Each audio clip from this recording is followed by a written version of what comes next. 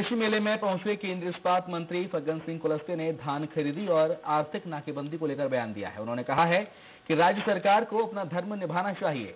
राज्य सरकार अगर केंद्र सरकार से मदद मांगेगी तो मदद की जाएगी। धान का समर्थन मूल्य तय करते वक्त राज्य सरकार ने केंद्र सरकार से पूछा नहीं था। राज्य सरकार की आर्थिक नाकेबंदी की बात ठीक नहीं है